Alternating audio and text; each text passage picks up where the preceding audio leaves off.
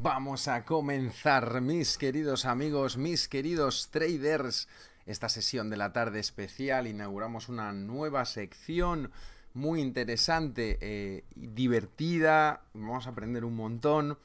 Vamos a hablar de las burbujas y las crisis financieras.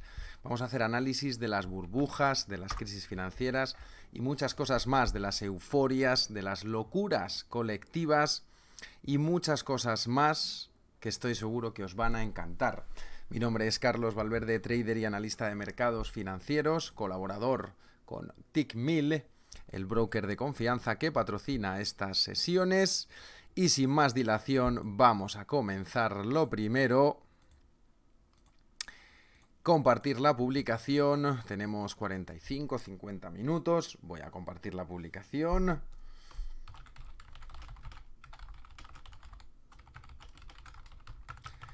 Qué ilusión me hace empezar esta nueva serie. Y ahora os comento, bien, voy a leer el aviso legal y de riesgo, como hago siempre.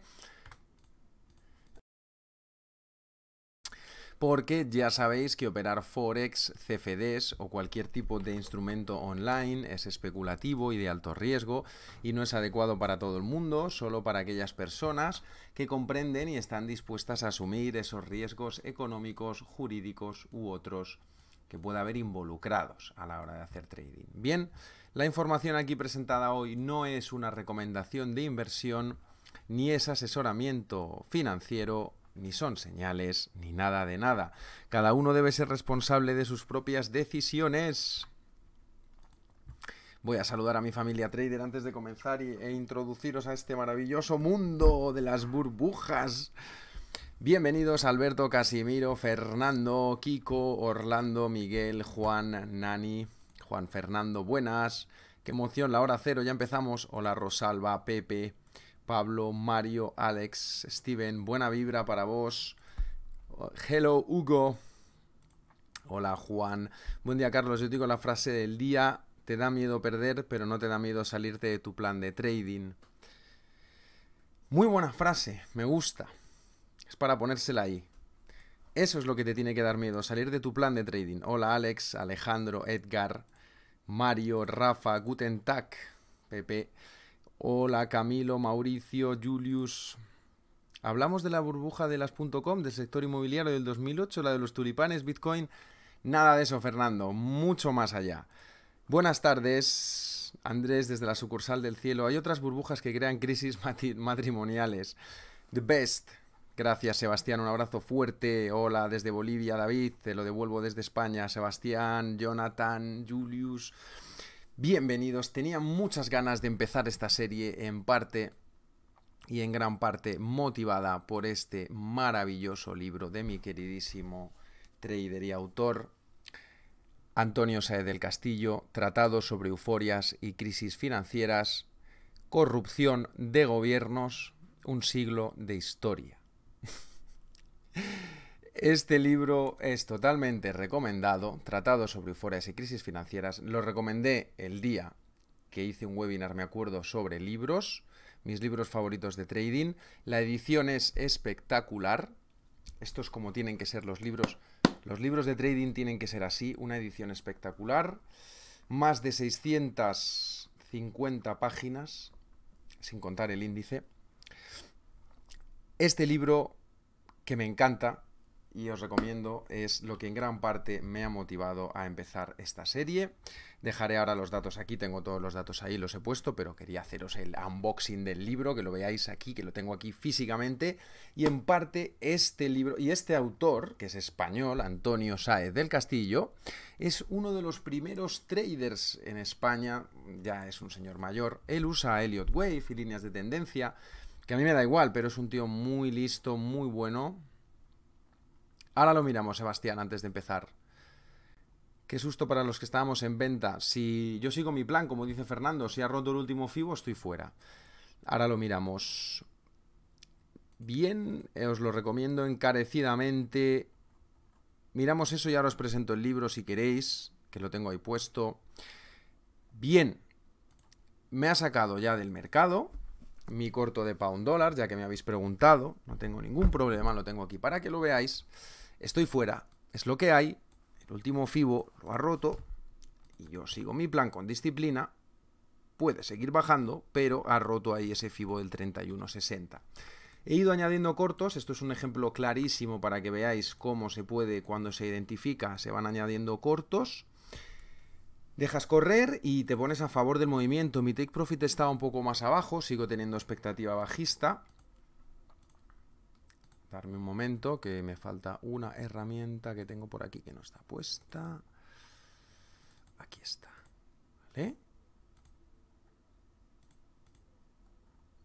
Te deseo mucha suerte, Santi, que está en venta en euro y en oro. A ver si funciona un segundo, porque hay una. Tengo una herramienta aquí que debería de hacer zoom.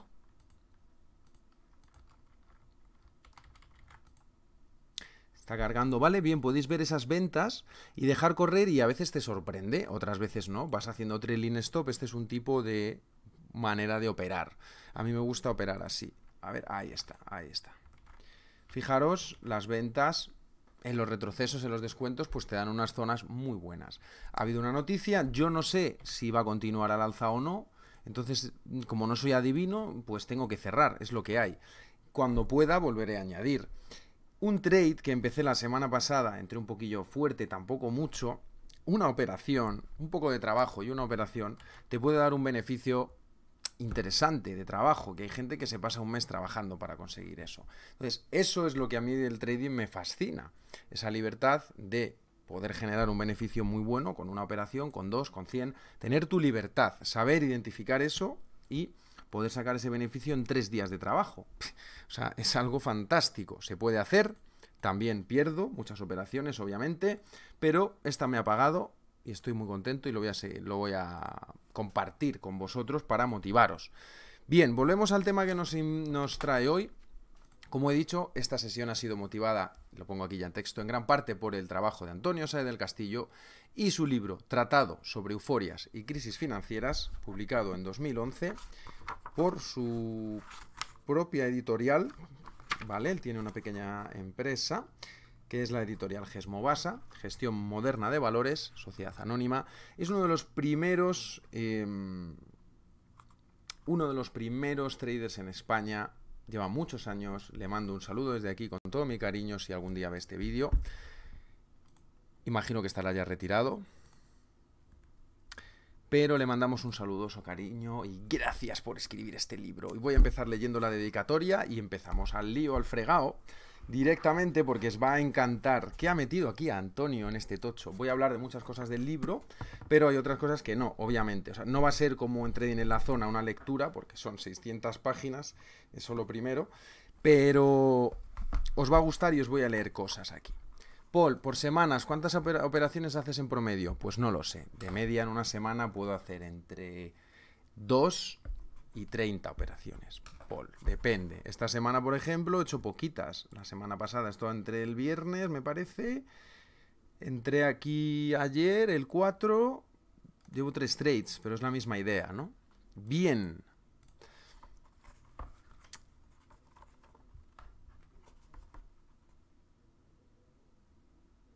Buena suerte Alejandro que dice que está un ataque en venta al euro dólar.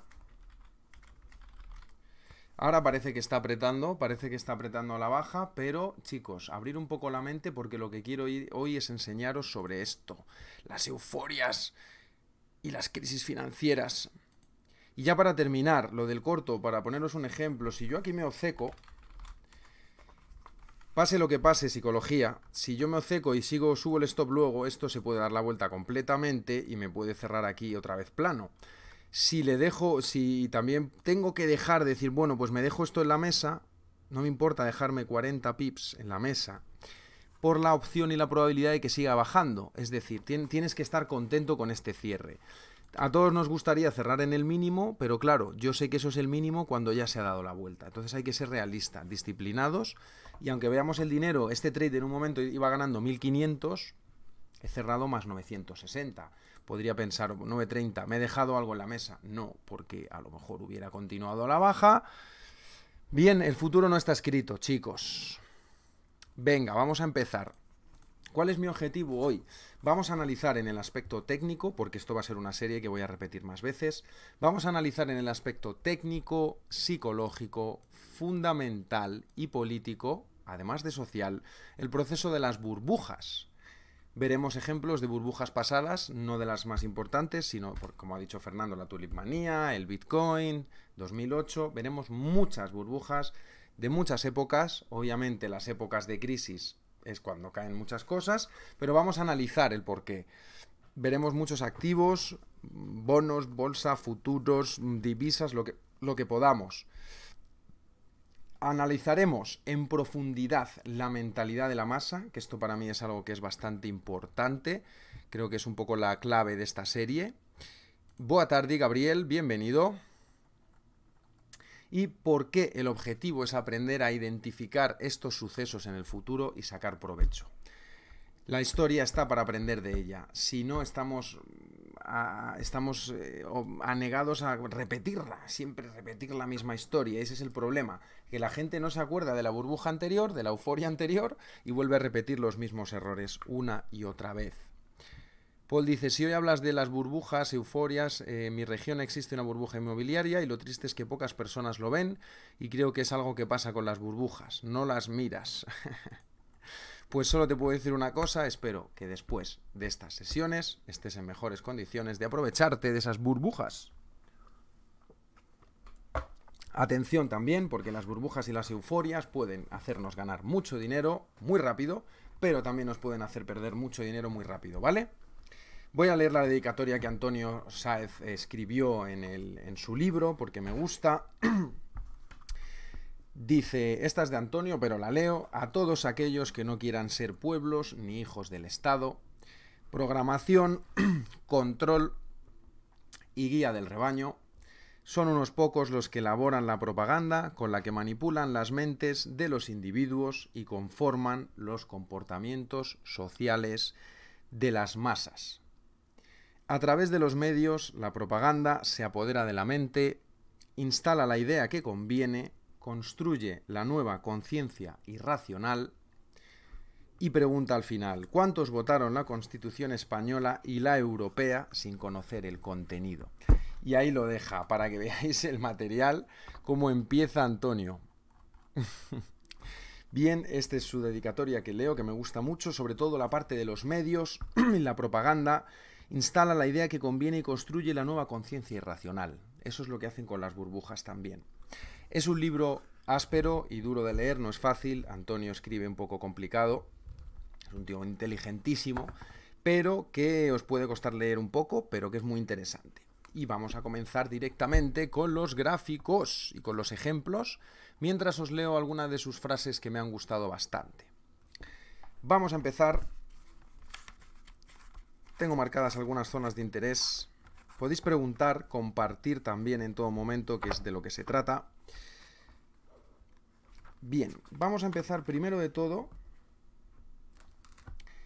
Voy a leer algunas cosas de cómo él lo define porque me gusta mucho antes de entrar a gráficos.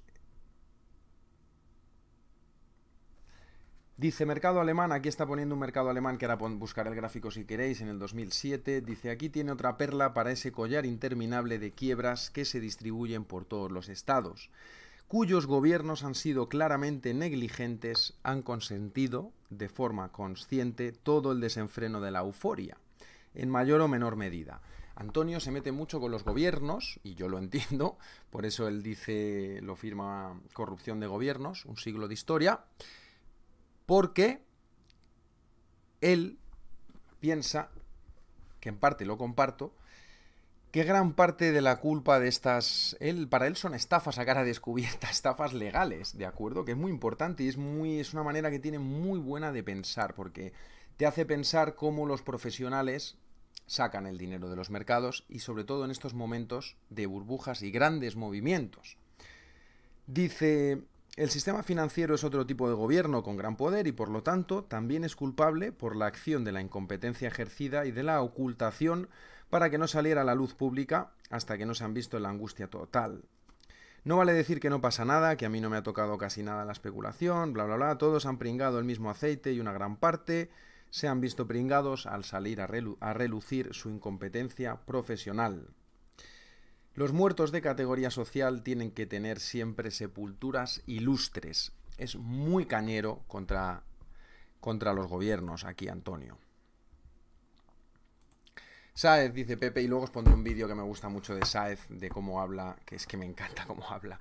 Dice Pepe, eh, una frase de Antonio, dice, lo aleatorio no existe y es todo manipulación organizada. Muy bien, ¿conocías ya Antonio, Pepe, le conocías? Hola, Johar, Luis. Seguimos, y él nos pone aquí Hipo Real Estate. Vamos a ver si encuentro este chart, ¿vale? Muchos charts complicados de encontrar, son acciones antiguas. Creo que lo puedo encontrar si es que no ha quebrado y sigue cotizando. Si no, pasaré directamente al siguiente. Este cotiza en Alemania, lo estoy buscando un segundín.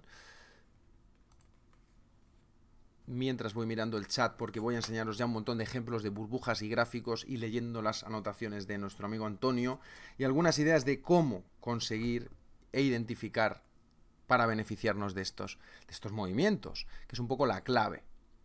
Podéis preguntar lo que queráis, dudas que tengáis y compartir y que sea colaborativo, ¿vale? Este gráfico es un gráfico muy complicado de encontrar, pero he encontrado otro que también tiene muy buena pinta de euforia. Os lo digo para que estéis atentos, porque yo también tengo un pequeño radar, es otro proyecto que tengo aparte, que es un pequeño radar o análisis de activos burbujeantes, que yo llamo. Y aquí hay uno de ellos. Es una empresa alemana. Esto está, fijaros cómo está. Bien, está perfecto ya para empezar a, a cambiar el papel, el papelón, que dice, esto lo dice también Antonio. Aquí hay, un, hay papelón. Hay dinero, aquí hay dinero, y ahí arriba está el papelón. Todo el mundo quiere darte las acciones, los poderes, los, traders, los fondos, los bancos, la gente, los profesionales, la gente que sabe, te está dando el papel arriba y cambiando el dinero. Eh, os digo la empresa, para que estéis atentos, Hipoport. El ticker es HIQ, ¿vale? Lo digo para que estéis atentos porque estoy, aparte de analizar eh, burbujas... Eh, anteriores, también este, esta sesión va a ser de buscar cosas que estén burbujeantes con esa cualidad. Y este es uno de ellos, estoy en mensual, este es el ticket, o el ticker, perdón, más bien el ticker. El ticker significa cuáles son las siglas por las cuales cotiza. HIQ, cotiza en la bolsa alemana, en SETRA, ¿vale? XETRA si podéis buscar un futuro de esto, o un CFD o en un momento dado hacer un seguimiento, porque además está fantástico ya para empezar a venderlo la burbuja, porque fijaros, esto es mi mejor manera de identificar el final de la tendencia, cuando tiro el último FIBO, el precio es incapaz de hacer un nuevo máximo, tiro el último FIBO y ya lo empieza a atravesar a la baja, esa es para mí la entrada más fresca, más simple, fácil, con mejor riesgo-beneficio si rompe el 164, podría empezar la burbuja a la baja, 164.60. Y esto es para dejarlo años, ¿eh? Para dejarlo por lo menos un año o dos, hasta que llegue otra vez a 20, ¿vale? Pablo, yo uso FIBO, pero en realidad uso el precio. Me gusta mucho más Antonio, ¿eh? Pepe, la verdad, sinceramente. Pero bueno, Antonio tiene muchas más tablas, es un tío que lleva 30, 40 años más 40 años en esto, es profesor. Lo que pasa es que es un poco farragoso a veces, como habla y cómo escribe, pero es muy bueno. Vamos a la siguiente. Dejarme un segundo que os voy leyendo cosas. Él analiza mucho, esto no os lo he sacado porque es muchísimo trabajo de todas formas y tampoco lo ibais a ver bien, pero él analiza con los diferentes eh, presidentes, en el caso de España, como da igual el presidente que haya, se va repitiendo todo el rato el mismo patrón además de sacar recortes de periódicos de todas las estafas, de todas las negligencias de los gobiernos, principalmente en España. Pero esto lo, lo dejaré preparado para una siguiente sesión, porque esta sesión quiero que veamos gráficos. Bien, ya os sacaré algún, algún, uh, algún gráfico de los que pone aquí Antonio, pero vamos a ir, por ejemplo, vamos a empezar por este gráfico del mercado norteamericano. Y esto no es en el 2008, estamos hablando de ADC Telecom.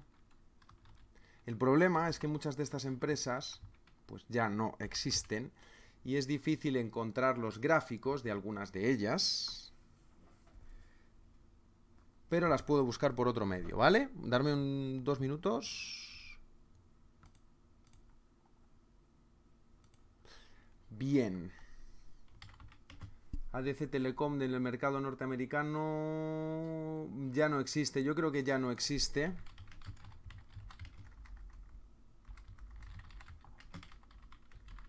A ver si la encuentro aquí, dejarme un segundo, porque si no voy a pasar a la siguiente porque hay un montón, tengo un montón de, empresas. O sea que no os preocupéis, podéis ir haciéndome preguntas o buscarme alguna empresa que os guste. Tengo varias, esta no me la he cogido. Vamos a ver si Active Power la tiene. Son empresas que ya han quebrado. Es por eso es lo complicado de encontrar un gráfico que ya esté funcionando. Esto es Active, Active Power del mercado norteamericano. Es complicado encontrarla, tampoco la tienen. Voy a por la siguiente, no me importa, pero os leo alguna.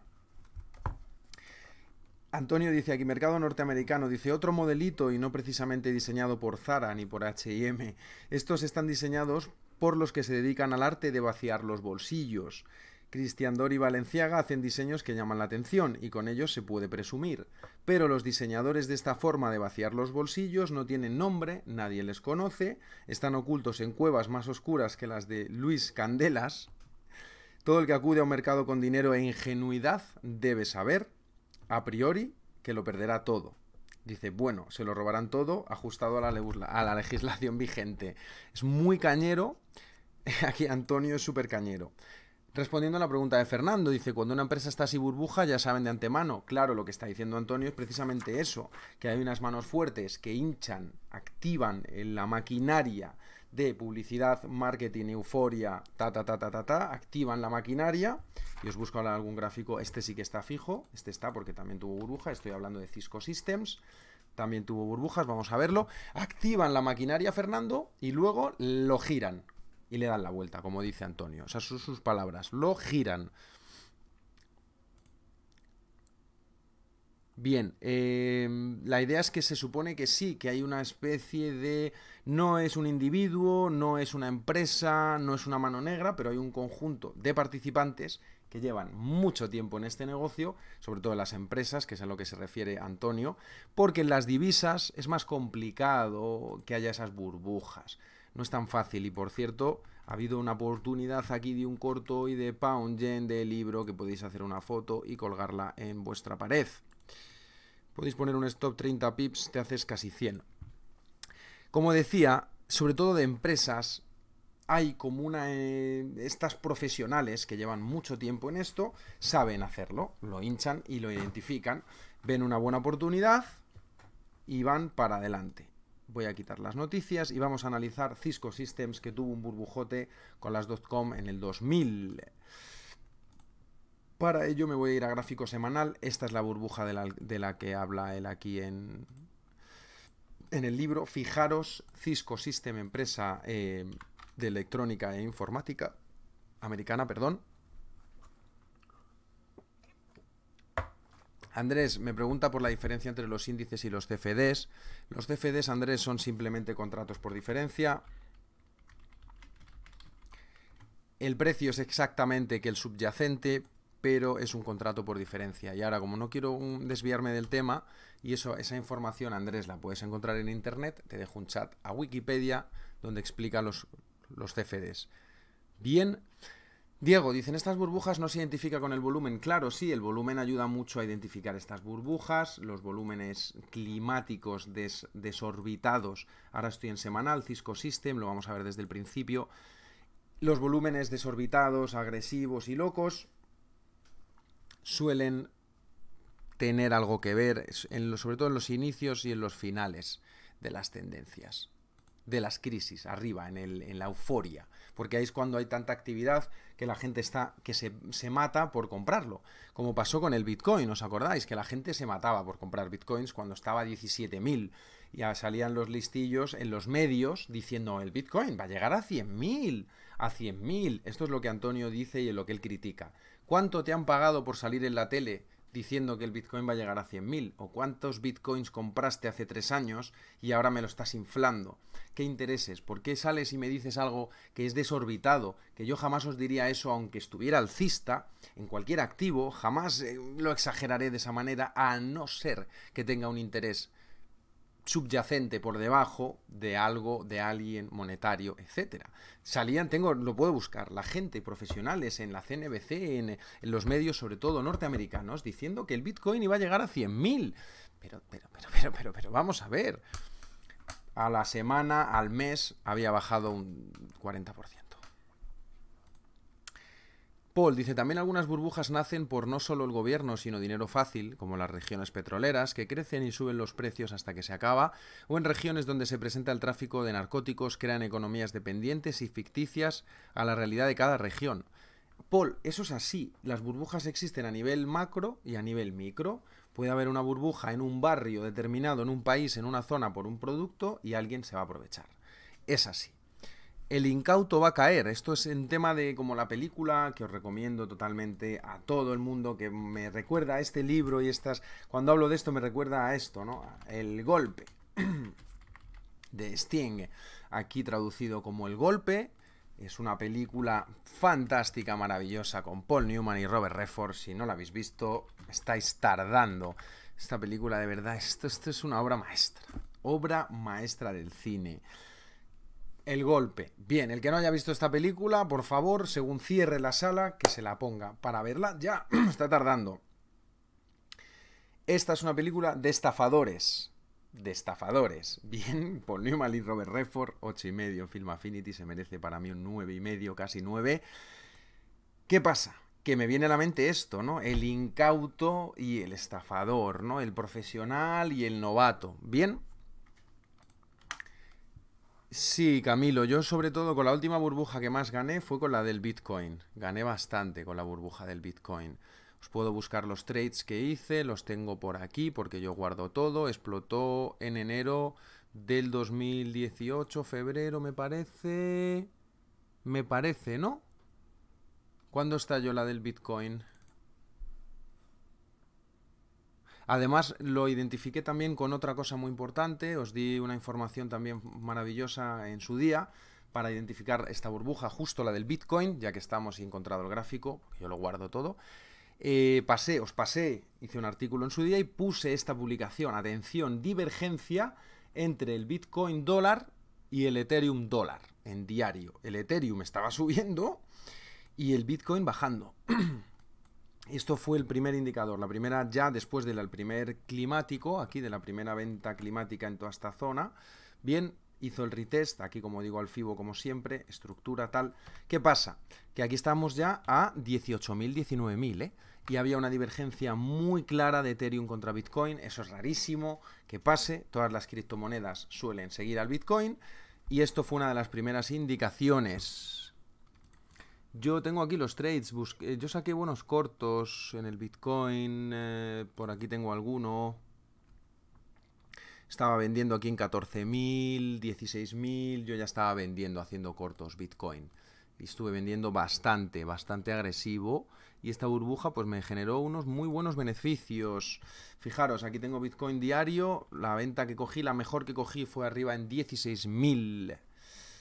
Entrada perfecta al retest Solo hay que seguir el plan, chicos. Es que tampoco hay que complicarse. Si tú tienes una burbuja, hombre, lo que hay que hacer es saber que en las burbujas todo se mueve más. Aquí está la entrada que digo.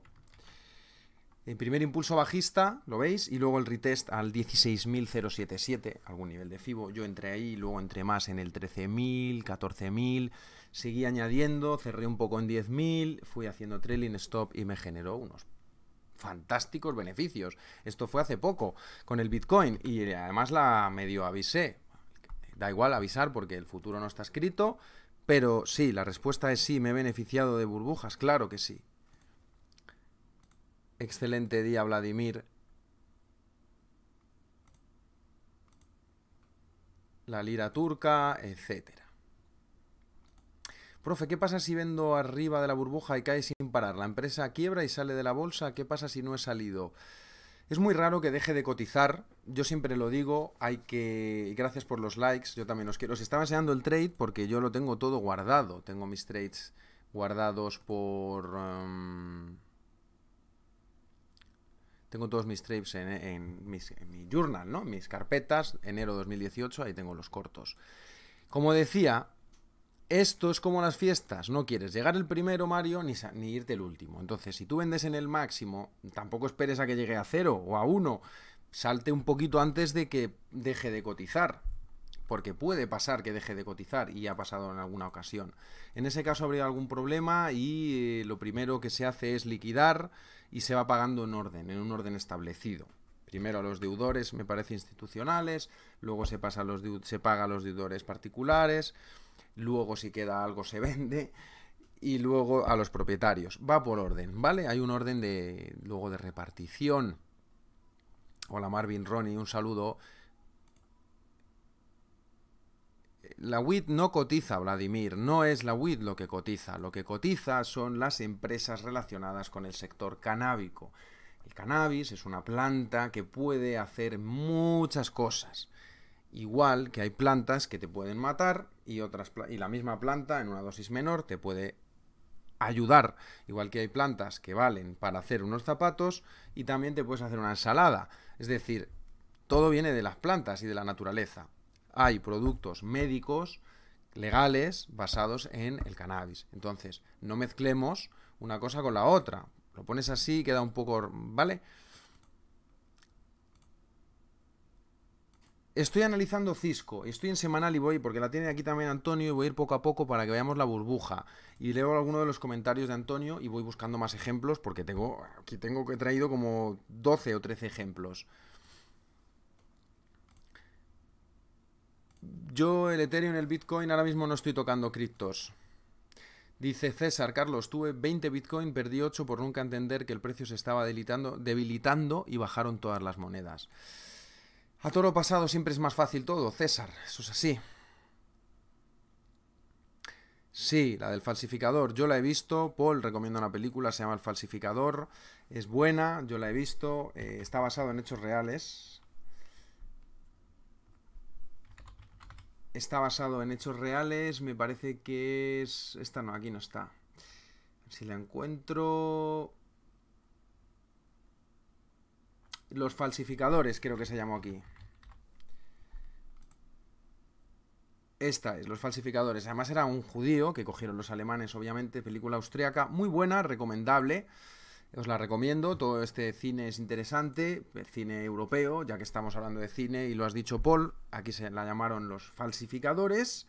Berlín, 36, Sorovitz, el rey de los falsificadores, es un judío sin escrúpulos, ta, ta, ta quieren hacer eh, una buena estafa, no os comento nada, echarle un vistazo, es buena.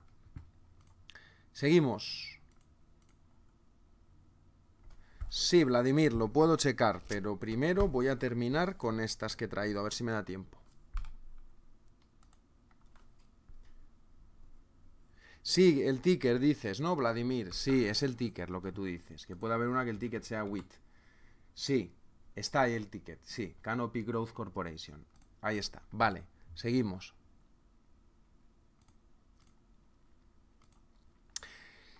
Eso es una muy buena pregunta, Johar.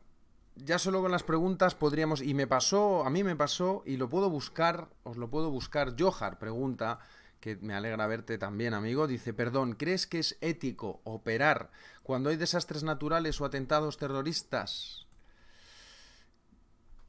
es una pregunta complicada. Mm, eh, la cuestión es si el desastre natural ya ha sucedido, da igual que yo opere o no opere. El desastre ya ha sucedido, el ataque terrorista ya ha sucedido. Por mucho que yo opere o no opere, no puedo cambiar eso. Es algo que va después, después del desastre, después del suceso. No es una situación para mí favorita para ganar dinero, obviamente, no es mi situación favorita, y aquí cada uno debe de tener su propia ética, su propia ética. En el trading la ética brilla por su ausencia bastante, la verdad, un gráfico es un gráfico, se va a mover y punto. El problema, Johar, es que si no lo haces tú, lo va a hacer otro. alguien lo va a hacer. Es decir, hay alguien que se va, le va a dar igual y lo va a hacer. ¿Qué me pasó a mí? En el 2011 estaba haciendo trading cuando el tsunami de Japón pasó justo, yo estaba haciendo trading y pasó el tsunami de Japón. Y empezaron a ver unas burbujas, me acuerdo perfectamente, estaba yo en Osi Yen, estaba yo analizando Osi Yen y, y salió una vela en 15 minutos, gráfico de 15 minutos, una vela de 250 pips. En 15 minutos. A la baja. O si yen. Empezó a subir el yen muchísimo, contrario a lo que se puede imaginar. Y ahora os explico por qué. Empezó a subir a estos OSI yen en 15 minutos y yo veo una vela de 250 puntos en, en M15 y digo, aquí está pasando algo. Miro las noticias, veo el tsunami de Japón y saqué algo de beneficio. Mi cuenta era mucho más pequeña, era el 2011, yo estaba aprendiendo todavía, llevaba un par de años. Y eh, lo que pasó es que mucha gente ganó dinero. Yo no gané ni siquiera nada para repartir, pero hubo gente que ganó mucho dinero con eso también. Y luego envió ese dinero para ayudar a rehabilitar y reconstruir Japón. Entonces, claro, puede ser ético eh, operar el desastre natural, ganar dinero o el atentado terrorista y luego, pues, con ese dinero que has ganado por ese suceso, lo, lo mandas para echar una mano a la gente que ha sufrido. Entonces ya sí que me parecería bastante más ético. Esto fue en el 2011. Quería mirar un momento el dólar yen. Aquí la verdad es que en semanal no se ve tanto. Me parece que fue en mayo. En el OSI yen empezó a bajar bastante bajó casi mil pips en unas semanas, para luego darse la vuelta.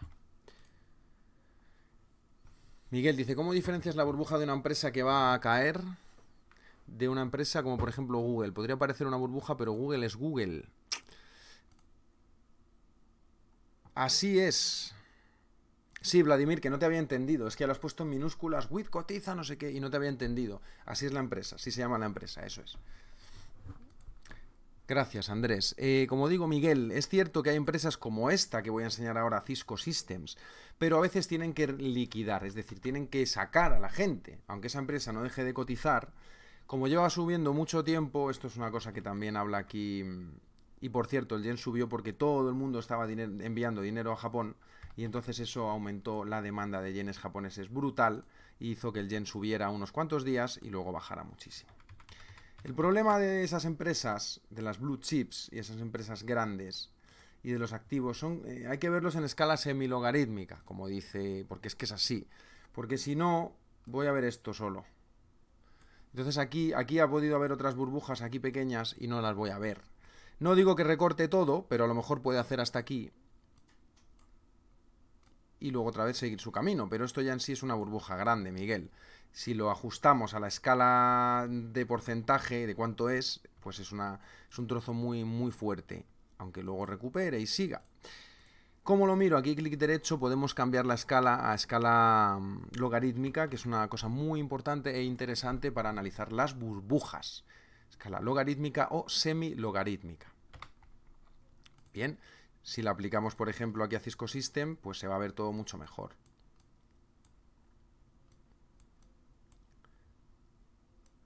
se ve mejor esta burbuja aquí. Fijaros, esta es con la escala logarítmica. Y ahora voy a poner la normal. Se ve más extremo, se ve más extremo, pero claro, no se ve cómo se cocina tanto al principio. Depende del activo, ¿veis? Aquí abajo, pues no veo nada.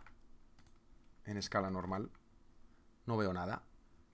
Si yo me, cambio y pongo la logarítmica, eso mismo que os he marcado, que era una línea que casi no se veía, mirar cómo se ve ahora. ¿Qué, instrumentos tienen este burbujote de hace siglos? El oro, por ejemplo. Pues el oro en escala semilogarítmica. Pasa es que aquí no tengo data, pero...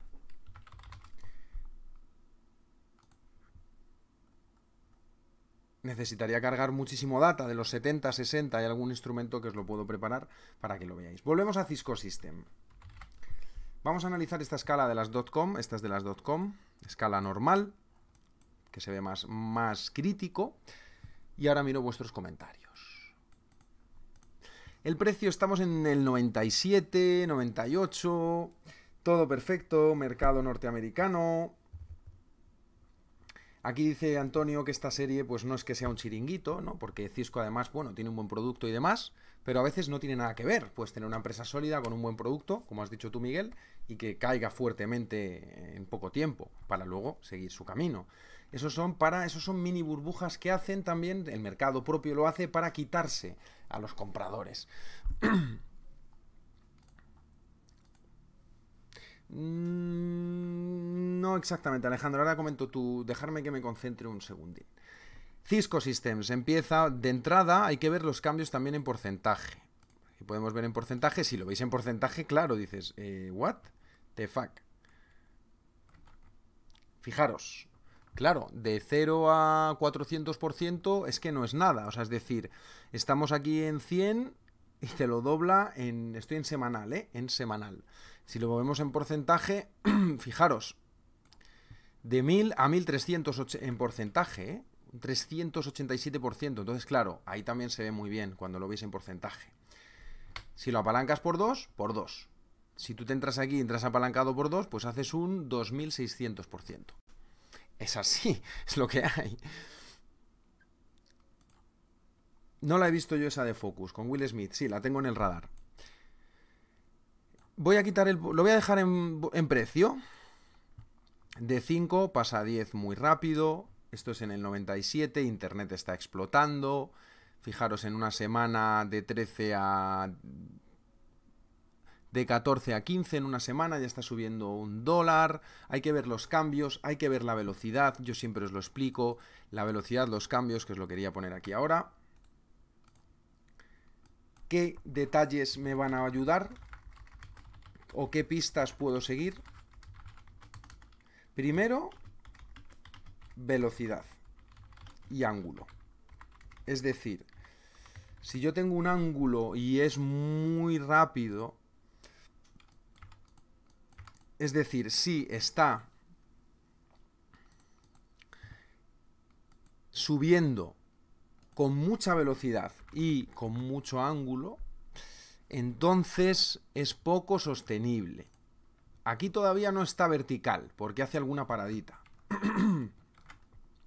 es bueno que vayáis vela por vela y hagáis estos ejercicios también para pensar ahí. Bien, veis en el 1550 se para un poco.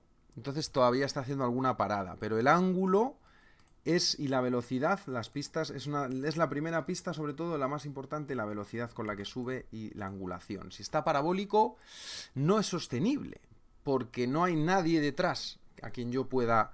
Llega un momento que estás solo y estamos todos solos y todos, todos solos queremos vender y entonces cae, se da la vuelta. Y os iré dando más pistas poco a poco. Vamos a dejar estas primero aquí. El precio avanza, yo estoy viendo el ángulo, la velocidad, el cambio de precio, obviamente, el precio, está claro. Que el precio también va a ser muy importante, si está aquí el porcentaje, si está haciendo un 100% en una semana, no es sostenible. ¿Qué empresas, qué productos, qué negocios te dan un 100% en una semana? En el trading lo puedes hacer, porque es otra cosa, pero tú montas cualquier negocio tradicional y no es normal ese crecimiento, no es sostenible. Entonces vemos como el precio ahí también, esto es una de las pistas también, los primeros liquidadores, que se podría decir, una primera mini burbuja, un primer mini miedo, un primer mini pánico, pero la euforia está rampante. Hay una euforia muy sólida, muy fuerte y enseguida, ah, eso no es nada, va, para mí, perfecto. La euforia está todavía muy fuerte y eso se queda en nada. Bueno, aquí la verdad es que puede ser que sacara bastante gente, es una primera euforia en el 98 Todavía no ha habido un buen crash, pero ya está ahí, del 17 al 10.50 en dos semanas. Primer mini pánico en Cisco Systems, en el 98. Y luego os leo el comentario de Antonio hablando de Cisco Systems de este mismo ejemplo. ¿Qué pasa? Que como os decía, la euforia está muy rampante, el producto es bueno, la empresa es buena, bla, bla, bla, no pasa nada. Seguimos. Siguiente empujón. Bien, ya no solo hay que mirar el ángulo de dos, de dos velas o tres, sino hay que mirar las diferentes etapas, porque esto se repite, chicos, es que es lo bueno de esto y lo precioso que tiene. Que es que esto se repite ad infinitum, todo el rato, en latín, quiere decir para siempre. Se repite para siempre. Se repite, es que es todo el rato lo mismo. Ad infinitum, ¿vale?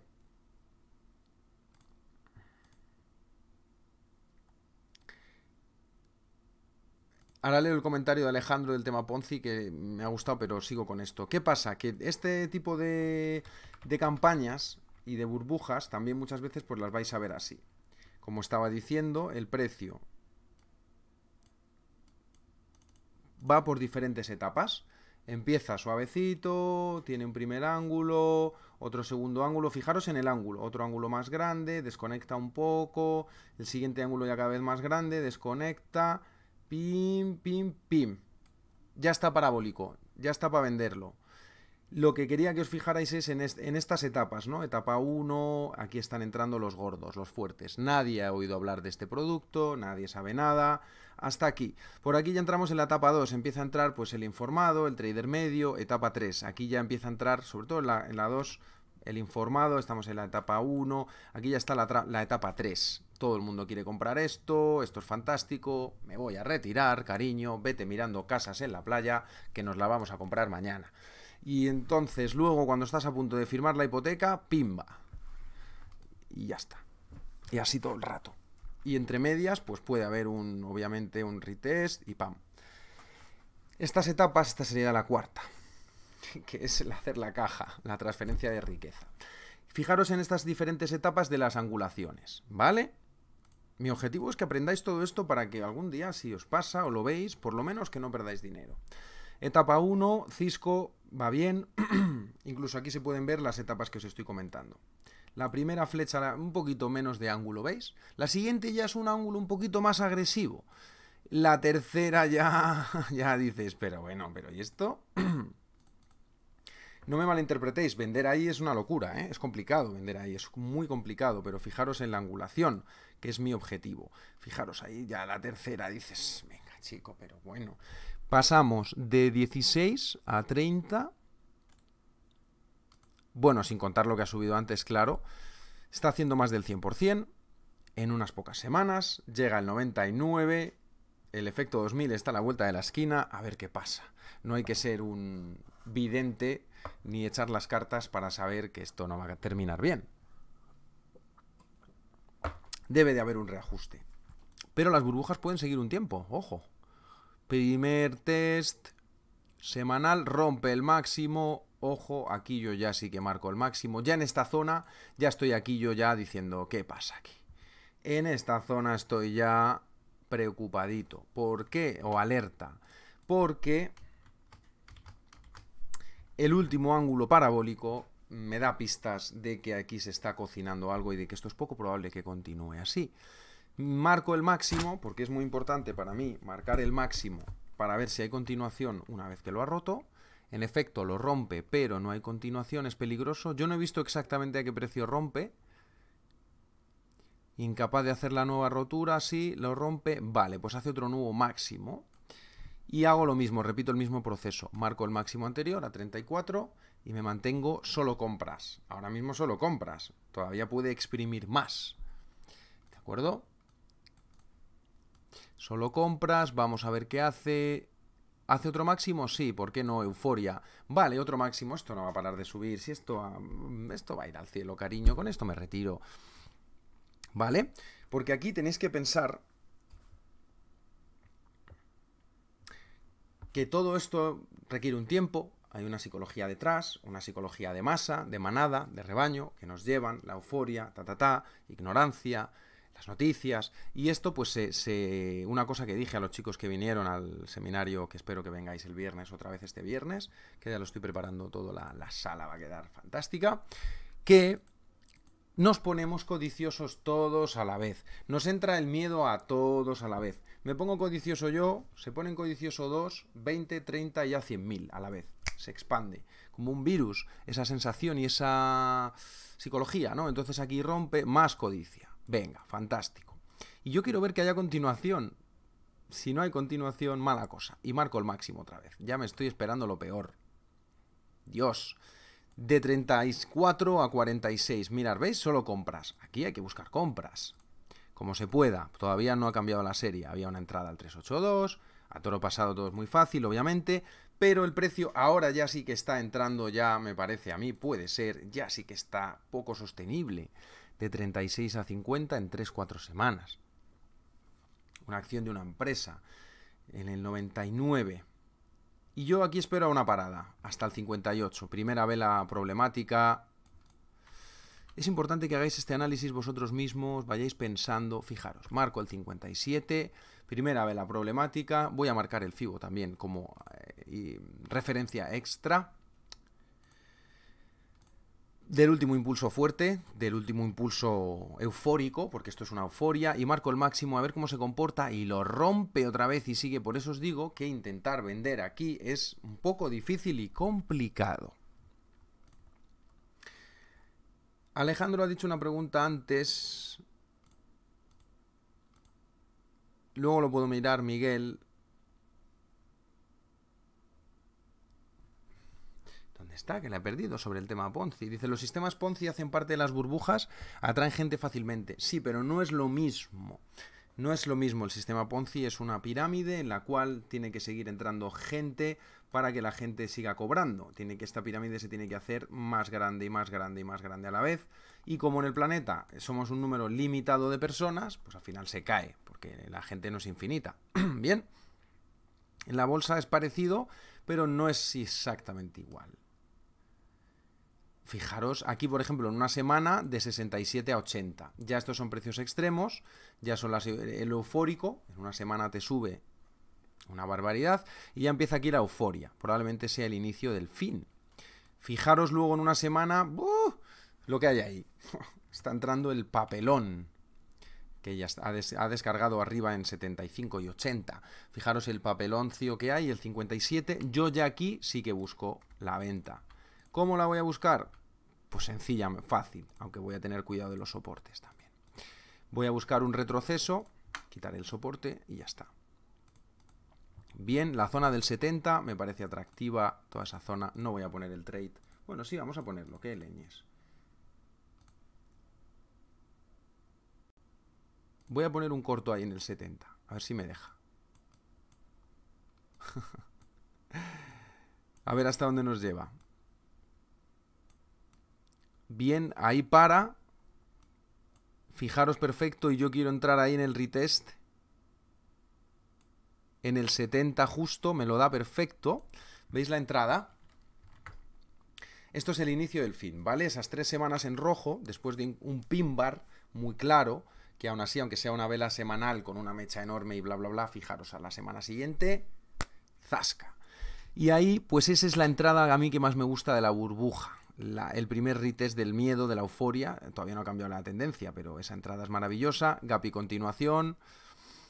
Y ya el resto, pues ya a partir de aquí voy a quitar el este para que no se ve, para que se vea, ¿no? Bien, pero lo veis ahí, ¿no? El retest al FIBO. Toda esa zona es la zona de venta después de este movimiento a la baja exacerbado. A partir de ahí, cuando rompe la estructura ya, el miedo se apodera, la euforia pasa miedo, pánico y esa casa en la playa que estábamos mirando tan bonita. Aquí puede hacer otra sacada, también es cuidado, ¿vale? Es, es puede hacerlo, es normal para quitarse a gente lista o, gente como yo que pueda entrar, que sepa identificarlo, tener que, tenéis que tener eso en cuenta. Pero aquí ya empieza la distribución, la venta, ya no hay continuación, vais a ver un cambio. Y pues el resto es historia. El que no se ande listo va a cerrar al mismo precio que compró, llegó hasta los 13 el noviembre del 2000 estamos en 50 y en abril del 2001 en 15, 13. Esta es una de las burbujas también de las .com, importante, de una empresa sólida como es Cisco Systems. Aquí Antonio comenta, esta serie no se puede decir que sea un chiringuito, a veces se imputan realidades que salen de ojo como anormales y que para disimular se aplican a chiringuitos. Bueno, él aquí se complica un poco, está diciendo pues que, que a lo mejor en este caso Cisco no está hecho adrede, es decir, ha sucedido porque ese es el momento de la burbuja y la propia, el propio mercado la ha generado.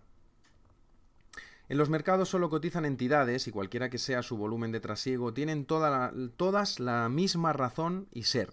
Por lo tanto, no hay que hacer ningún tipo de separación dice que puede ser un caso en el que no haya tanta manipulación, pero que da igual, que no hay que separarlas, porque el gráfico nos dice burbujote. Cisco es una serie como otra cualquiera y donde puede haber más o menos diferencias en el volumen de trasiego o en el marketing. Es decir, en los medios de comunicación, como con el Bitcoin, esto va a llegar a 100.000, no sé qué. A lo mejor en Cisco System no había tanto marketing. ¿Bien? Porque a veces tampoco quieren que te enteres, ¿no? De la burbuja. Hay mucha gente, como ahora espero a partir de vosotros, que seáis listos, que cuando veáis un precio parabólico y un marketing desaforado, para que adquieras determinado producto financiero que está de moda, no entréis al trapo, no piquéis. Pero los mercados todas ellas responden sin excepción al concepto de pretexto. Así debe considerar usted cualquier etiqueta, pues las condiciones intrínsecas de desplazamiento de los precios, cuando las cogen como pretexto, las suben, las bajan. Bueno, que dice que eso, que, que da igual, que al final es una euforia como otra cualquiera y ahí tenemos la rotura y nos vuelve a llegar otra vez hasta el 12.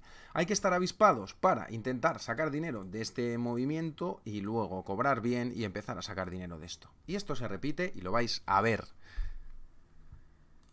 Voy a ver el chat un momentito.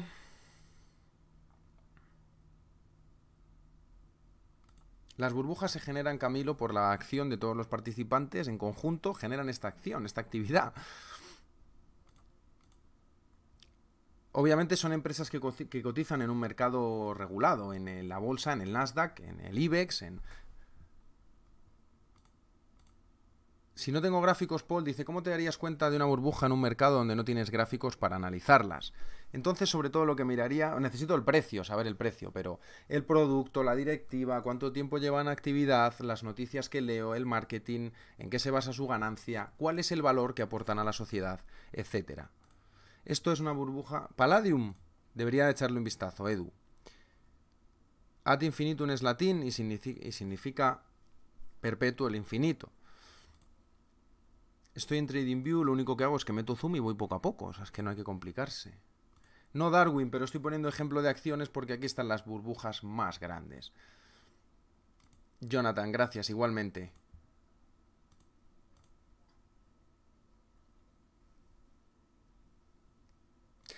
Diego pregunta, ¿alguna vez estudiaste lo que lo sucedió con Valeant, farmacéutica y su cotización en el mercado? Sí que lo estaba yo haciendo trading, era 2013-2014 me parece. Estaba yo haciendo trading justo de... pero ya no cotiza, ¿no? Hmm. Era, era Vale, era Vale, sí me acuerdo de Vale. Sí, sí, sí, me acuerdo, me acuerdo. Esta fue en el aquí en el 2007... Me acuerdo de Vale, sí, pero luego en el 14 tuvo algún lío, no era Vale, era Alibaba... Tendría que revisar mis gráficos. Esta también fue una burbuja tremenda, tremendísima. No llegó a dar la entrada al FIBO, hay que estar muy atentos, no llegó a tocar.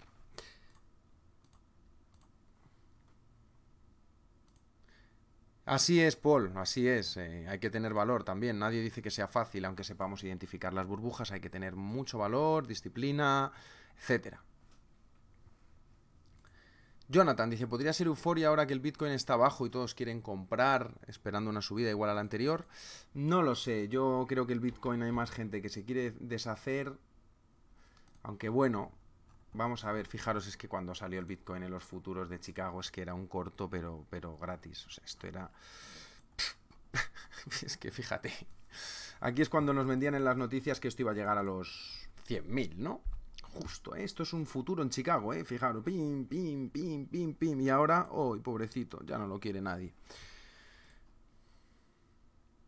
He puesto antes alguna, Camilo, pero bueno, vamos a ver si me da tiempo a enseñaros 395.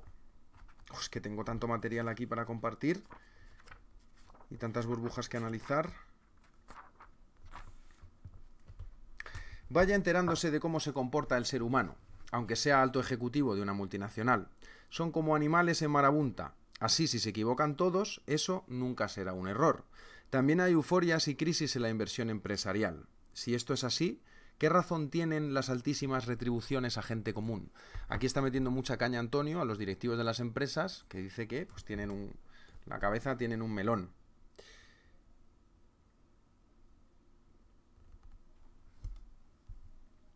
Dos euforias y crisis seguidas correspondientes a las mismas de los mercados de acciones y de índices, está hablando de una empresa, importe transacciones, eh, todo es igual, todos tienen comportamiento de rebaño, todos son ovejas lanares pertenecientes al mismo rebaño. Aquí mete mucha caña para que la gente espabile. Siendo así, que lo está usted viendo y nadie se lo cuenta, ¿Por qué se coloca a gente como a dedo teniendo por cabeza una nuez sin fruto? dice Antonio. Altas retribuciones no significan éxito si despilfarro. Está hablando de que justo en los momentos en que estas empresas muchas veces tienen ese burbujón, los directivos se están llevando unos bonus y unos pingües beneficios y unas retribuciones altísimas justo cuando está a punto de explotar. ¿vale? Sí, me suena lo de Valean. Es que estaba eh, pensando en otra también, Diego. No era esa. Bien, tengo algún ejemplo más. Pero, ¿qué os parece si, si seguimos con esta serie de euforias y crisis financieras, burbujas, motivados e inspirados por nuestro queridísimo amigo Antonio Sae del Castillo? ¿Qué os parece? ¿Seguimos con esta serie? ¿Os ha gustado? Hay mucho trabajo aquí porque nos hemos quedado sin tiempo. Yo os voy a dejar un poquito con las ganas para que estudiéis y analicéis esto, porque estamos sin tiempo, tengo más frases, más cosas que quiero explicaros y podemos trabajar conjuntamente este libro, para el que no lo tenga también, que es muy fantástico y así podéis también aprender vosotros. Enron, Lehman Brothers, se me han quedado muchas, muchas, muchas. No sé si os ha gustado esta serie, queréis que sigamos con esta serie, es interesante, ¿no?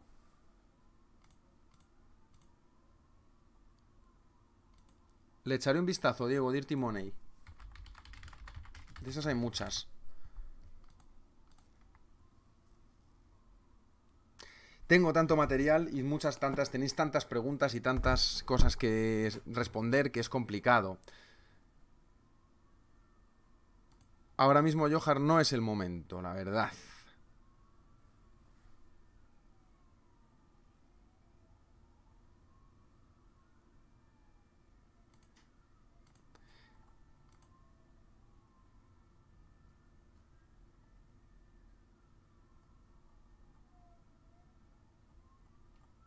No entiendo bien tu pregunta, ya te estoy explicando como para darte cuenta de una pol, ángulo, momento, noticias, lo que oyes, muchas otras cosas que vamos a seguir explicando en esta serie de euforias y análisis de burbujas y de crisis financieras, que espero que os guste, gran parte motivado por nuestro queridísimo Antonio Saez del Castillo, le mandamos un saludo.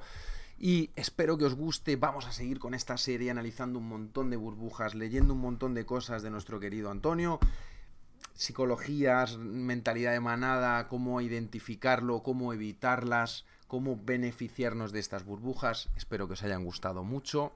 Chicos y chicas, luego os pasaré eh, un enlace eh, para que, o un, un email para la gente que quiera reservar silla para el viernes, que tenéis que reservar la silla, ¿vale? Porque hay asientos limitados. Hay gente que ya va a venir, pero me vais a reservar luego, ¿vale? Luego os pasaré a todos un enlace, lo pondré público o una dirección. El viernes habrá sesión en vivo, en directo de trading aquí, non-fan payrolls, pero también con gente aquí invitada. Acordaros de traeros el portátil o la tablet para operar, ¿vale? Ha sido un verdadero placer, me ha encantado esta sesión, chicos y chicas. Tengo que salir porque se me va la hora, son 7 y 20 de España y tengo que seguir preparando todo para el viernes. Os espero con cariño mañana igualmente en Café y Mercados, como siempre aquí, con Tito Charlie, la familia trader y Tickmill, el broker que patrocina las sesiones. Os mando un beso y un abrazo fuerte. Buen trading, chicos. Hasta mañana. Chao, chao.